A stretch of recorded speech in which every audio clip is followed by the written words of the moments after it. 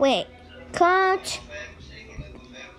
S, R, and G look different because we got new looks today. Oh, right. Okay.